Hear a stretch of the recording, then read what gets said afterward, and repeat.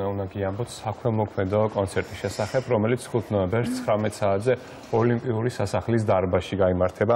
სამი წლის თაია ზოიძე 6 თვის წინ სუთხის უკმარისობით და გულის გაჩერებით მოხვდა კლინიკაში და ამჟამად იმყოფება თურქეთში, სადაც გადის ნეირორეაბილიტაციას. ჩვენი ჟურნალისტი ნინი ნაცვლიშვილი ჩაგვერთვება ახლა ოლიმპიური სასახლიდან და უფრო მეც ამ კონცერტის შესახებ თავად გვეტყვის ნინი შუადღემშვიდობის. გამარჯობა ნინი. შუადღემშვიდობისა მოგესალმებით დიახ სამი წლის თაიოზოიძე საზოგადოების დახმარება სჭირდება რამდენიმე თვის წინ სუნთქვის უკმარისობით და გულის გაჩერებით გადაიყვანეს კლინიკაში გული აუმუშავეს თუმცა ტვინის ნაწილის ამოქმედება ვერ მოხერხდა ამიტომ ის გადაიყვანეს თურქეთში სამკურნალოდ იმიტომ რომ საქართველოში არ არსებობს შესაბამისი მკურნალობა ჩემთან ერთად ახლა იმყოფებიან ლევან ერგემლიძე და ის ბავშვები რომლებიც მონაწილეობას იღებენ კონცერტში რომელიც გამართება კვირას 5 ნოემბერს თაიას დასახმარებლად და პირველი კითხვით გადავალ ლევანთან მე ლევან გამარჯობა. გამარჯობა მოდით პირველ რიგში მოგვიყევით კონცერტის შესახებ და შემდეგ უკვე რამდენად მნიშვნელოვანია ესეთ საქველმოქმედო და რამდენად საპასუხისმგებლო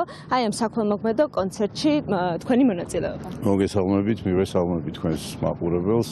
ორი სიტყვით შესავალს გავაკეთებ რაც თქვენ ბრძანეთ კი ბატონო გადაყვანილია თაია თურქეთის კლინიკაში სადაც განაგზობს კურნალობას და სამწუხაროდ ჩვენთან არ მოხერხდა არ მოხერხდა მისი ადეკვატური მკურნალობა და განაგზავს იგი თურქეთში მას.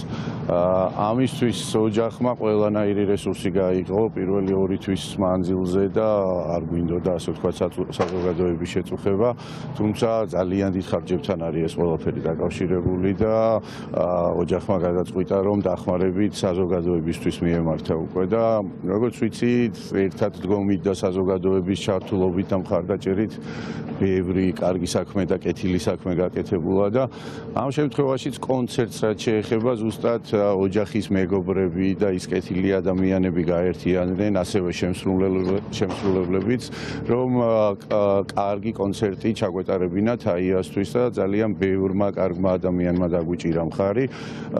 ორი თვის მანძილზე უკვე შეიქმნა ანუ Facebook-ზე გვერდი ასე ვთქვათ აიას დასახმარებლად და ამ დროის მანძილზეც ბევრმა კარგმა ადამიანმა თანხის შარიცხვით გამოხატა მადლიერება და ანუ მადლობა ღმერთს და მადლობა ამ ადამიანებს რომ დღემდე თაია განაგზოს ურნალობას თურქეთის კლინიკაში.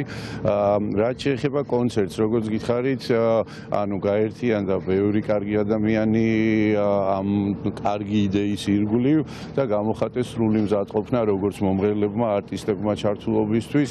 ასევე მის ოჯახის ყველა მეგობარმა, ვისაც რასახით შეეძლო და დიახ, ვემზადებით 5 ნოემბერს საღამოს 7 საათზე ახალი სპორტის სასახლეში. აუცილებლად ასევე მინდა მადლობა უთხრა კულტურის, ახალგაზრდობის და სპორტის სამინისტროს, რადგან ბევრი მიმართულებით დაგვეხმარნენ, ასე ვთქვათ, სრულიად უსასყიდლოდ და ასევე შპს სპორტ შენს, რომელმაც დაგვითმო ახალი დიახ. დარბაზი. დიდი მადლობა. ძალიან დიდი მადლობა. აი ახლა გეგა შონია და ვაჩე ღვინიაშვილი იმყოფებიან ჩვენთან, რომლებიც მონაწილეობენ საქველმოქმედო კონცერტში. გეგა პირველად იღებთ მონაწილეობას. ასეთ კონცერტში. დიახ, პირველად იღებ ასეთ ღონისძიებაში მონაწილეობას და ჩემი აზრით ადამიანის ჯანმრთელობა უნიშნულოვანესია და პირადად ჩემთვის ძალიან დიდი პატივისცემაა რომ ამ კონცერტი ჩვენ შეგვიძლია როგორც მაყურებელი ვასიამოვნოთ და შეგროვილი თანხით შევუწყოთ ხელით აიას მკურნალობას და ჩვენი წვლილით შევიტანოთ მის გადარჩენაში და დაუბრუნოთ ლაღი და ბედნიერი დღეები. ძალიან დიდი მადლობა, ბაჭი, მოდი შენც გითხარი, ხო? მიმართოთ საზოგადოებას, რატომ უნდა მოვიდნენ ამ ღონისძიებას? მე მოხარული ვარ, რომ მიწევს ჩემი საკუთარი დიდი წვლილი შევიტანოთ აიას გამოჯამრთელებაში და მოგიწოდებთ აბსოლუტურად იმ ხალხს, ვისაც გსურს რომ გახდეთ თაიას სიცოცხლის გმირები და მოხვიდეთ ამ კონცერტზე და თაიას ვაჩუქოთ მართლაც ბედნიერი, მზიანი და ხალისიანი დღეები. ძალიან დიდი მადლობა. ბიჭებო და მოდი მაყურებელს დავამშვიდობოთ და შევახსენოთ რომ სპორტის სასახლეში 5 ნოემბერს 19 საათზე გამართება საქველმოქმედო კონცერტი თაიას დასახმარებლად. ძალიან დიდი მადლობა. ნინი რა თქმა უნდა ჯანმრთელობას სუსურეთ პატარათა ეს და რაცმებული ვარ ის ადამიანები რომლებიც იღებენ ამ კონცერტში მონაწილეობას არ დაიშურებენ თავიანთ ძალისხმევას იმისათვის რომ პატარათაია გამოჯანმრთელდეს რა თქმა უნდა. და ჩვენს მოუწოდებთ ამ ყველაფერში ჩართვისკენ